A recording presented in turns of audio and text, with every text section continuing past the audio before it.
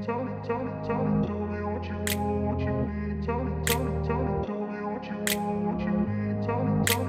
grew up in a place where they told you what to chase. Told you how to run the race, every move was on the page But I didn't like